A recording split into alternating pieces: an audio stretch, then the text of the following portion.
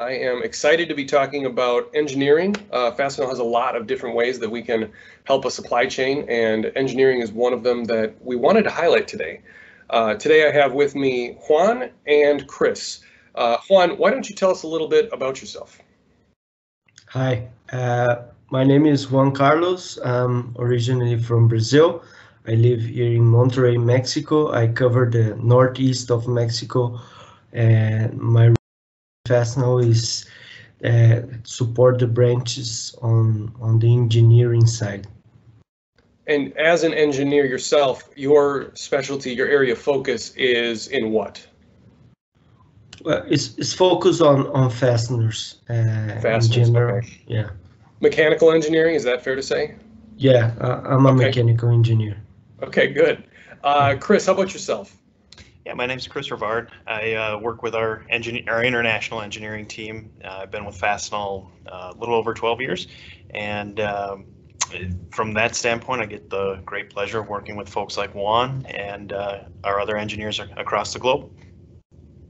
Thank you. Well, guys, uh, I think you know why I have you here, but I'll give a little bit of a uh, entry here. So I heard that Juan had been to a place that was having a trouble with their supply chain, and it was something that you were able to jump in and provide a solution on. They were working with ladders. They were a ladder manufacturer. Can you tell me a little bit about how that came to be? Well, we we were in the process of quoting some some parts to to this to this customer, and they they they stopped the process because they received a, a, a complaint for for a final customer for a, a warranty. So so the the customer uh, engineering side uh, uh, come to me and and ask for for some guidance. And and they realized that they were not using what they they supposed to use for that application. So um, my role was to help guiding the customer to to use the correct product to specify the correct product or, or specification to to that product Chris, is this something that we are commonly doing? Is Fastenal always looking for ways to do this? We are, you know, one of the one of the best times for us to get involved is is up front in a design, um, and, and it's it's a sign of a great partnership when we're able to to break through with the uh, with the customers engineers. We we always want to be a, a small piece of helping them uh, understand what's readily available and what they can expect out of the fasteners for sure. Partnership, uh, you might have seen my head start nodding like a bobblehead there, but I like hearing that word. I keep hearing it. And to me, it sounds like, and maybe Juan, you can touch on this a little bit more. The way that that came about wasn't that you knocked on their door. We were already working with this company. Uh, you just happened to know how to help them. What specifically was it that you were able to help them with? Was it a certain fastener? Was it an application? What are we talking about? Well, the specific for this case, uh, the customer was referencing uh, uh, a coating thickness that was different uh, uh, of what they expect. They expect some some uh, corrosion resistance, and and and in the end, they were specifying a different one from what they expect. So so I helped them to check their spec to to to specify print the correct spec. Excellent. Okay. So I think that that kind of leads me into another case that I heard you worked on again. It was the food and beverage one. It was a beer manufacturer or a beer distributor, maybe I should say. Uh, they were working Bottle. to bottler, beer bottler. Thank you. So they were working to uh, fix a problem where they kept having outages on the line. They had to shut down the line, had to shut down the line. What happened in that case? Well, they, uh, I went to give a, a, a customer training. We, we engineers sometimes go to customer site to, to give engineering training. So before doing this training, I, I, I asked the, the engineering manager uh, to, to go to a walk in the line to, to verify. And and they they they asked me to to check an application because they normally have some with that application so at the time I went there, I realized that they were using the the incorrect bolt, incorrect grade of the bolt uh, for that application. So after the training, uh, where I explained that to to the engineers, uh, uh I I mentioned that application, and, and, they said that's the the the reason we we had so many uh, line stop in, in in that in that point. So or in that in that area of the line. So understand a basic stuff about the fastener. They didn't understand the the difference between the the grades. So. And the grades make a big difference. Chris, yeah. that seems like an area where Fastenal would be able to help people often. Are these trainings common? They are. Eh, uh, you know, really the goal of of the engineering team is is to be an extension of our customers, either maintenance team or design team. Uh, we, we've kind of covered one from a design team, and this this one this example is more with with a maintenance department. Um, in order for us to build those relationships that we want, we have to come and bring value. And probably one of the best ways I feel that we can bring value is is educating our customers about some of the fundamental basic stuff about bolted joint design. Um, and, and, that's one of those areas that, again, I, I think Juan really excels and, and, exemplifies what we're after. He's able to go line up that meeting, walk the line ahead of time, and tailor his presentation on very short notice. Um, and I think that's one of the one of the things that makes Juan very successful and very effective with his customers, and, and one of the reasons why he becomes such a go-to resource for for his customer base um, is is he's just he's a relationship based engineer first, right?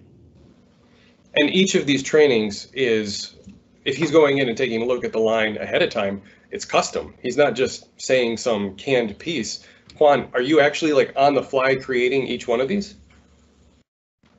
Uh, is it something sorry. that you walk into and you don't have 100% of what you're going to say planned? You you have to make sure that it's specific to each individual. Yeah, it depends of the application of the customer. Uh, the, we normally like to go to the customer plan to review the application or, or what is their problem before making suggestions because it depends uh, of the, of the each application will be different. So it's, it, it is like custom made for, for each customer.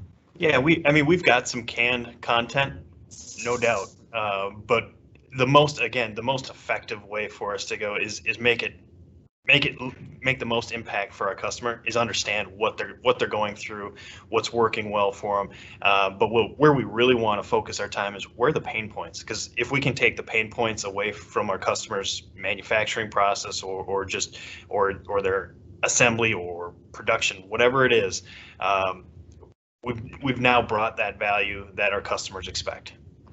So what was the I'm sorry, what was the big takeaway for the beer bottler? What were they able to not have to suffer through anymore? What problem did we solve for them?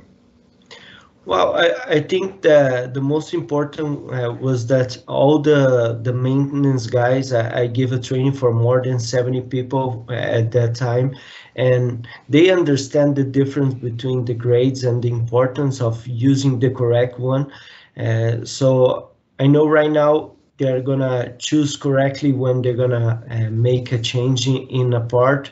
Uh, I know they're gonna um, make the, the right decision about changing uh, other.